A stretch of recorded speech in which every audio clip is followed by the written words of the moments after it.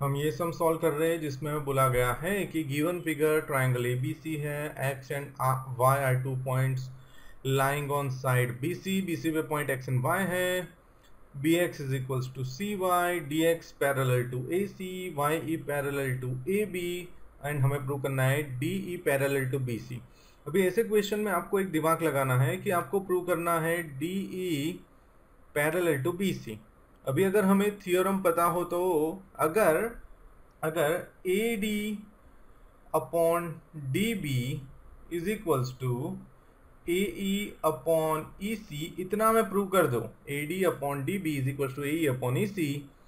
तो उसका मतलब कि ये पैरेलल है डी एन बी सी तभी पॉसिबल है। डी बी सी पैरेलल होगा, तभी जाकर A D upon D B A E upon E C prove हो जाएगा तो हमारा जो काम है प्रूफ का वो हो जाएगा। अभी इसके लिए हमें स्ट्रेटेजी बनानी है। तो हम क्या करेंगे? तो सबसे पहले अगर ये पूरे डायग्राम में, यहाँ पे फिर से बना रहा हूँ, अगर ये पूरे डायग्राम में सिर्फ़ ये लाइन होती है दैट इज़ डी एक्स वाली, जो ये है, मैं फिर से नेमिंग भी कर रहा हूँ D X A B C तो अगर ये D X parallel to A C दिया गया है तो ये हो जाएगा A D upon A D upon D B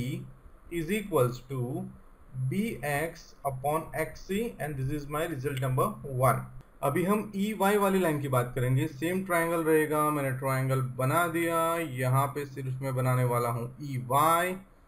E Y and हमें बोला गया है कि E Y is parallel to A B यहाँ पे ए बी सी अभी इस पे से मैं कंक्लूड कर सकता हूँ that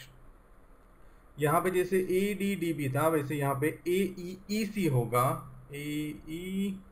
upon E C equals to, जैसे यहाँ पे B X B X X C था, वैसे यहाँ पे सी वाई वाई बी होगा। अभी इसमें आप देख सकते हो कि A D upon D B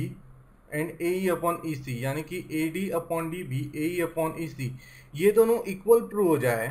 तो इसका मतलब ये हो जाएगा कि D parallel to X Y लेकिन ये तभी पॉसिबल है जब ये दोनों साइड इक्वल हो। तो अभी हमारा वर्कआउट इस पर रहेगा। तो इसमें आप देख सकते हो कि ये रिज़ल्ट कहीं सब्सटीट्यूट हो रहा है B X C Y yes तो ये बी एक्स सी वाई तो यहाँ पे मैं बी एक्स लिख सकता हूँ, और ये वाई बी की बात करते हैं। तो अगर मैं प्रूव कर दूँ कि वाई बी एक्स सेम है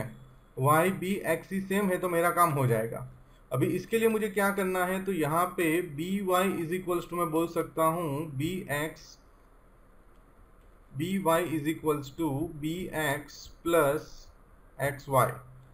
same way C X is equals to मैं बोल सकता हूँ C X is equals to मैं बोल सकता हूँ C Y C Y plus X Y that is Y X और एक्स वाई सेम अभी यहाँ पे आप देख सकते हो कि एक्स वाई एक्स वाई तो सेम है। बात रही B X and C Y की। तो B X and C Y तो यहाँ से इक्वल है राइट तो अभी ये पूरी राइट हैंड साइड सेम हो गए तो मैं बोल सकता हूँ B Y is equals to C X तो यहाँ पे मैं लिख दूँगा बी वाई की जगह पे सी एक्स तो यहाँ पे सी एक्स हो जाएगा। B X is equal to C Y दिया गया है तो ये सी वाई की जगह मैं बी एक्स लिख दूँगा। ये A E upon E C as it is है। अभी, ये राइट हैंड साइड सेम हो गई। यस सेम हो गई। X C C X same ही है। तो मैं इससे कंक्लूड कर सकता हूँ कि A D upon D B A D upon D B sorry let me write clearly D B is equals to A E upon E C और जिससे कंक्लूड हो गया D E parallel to B C so I hope it helps thank you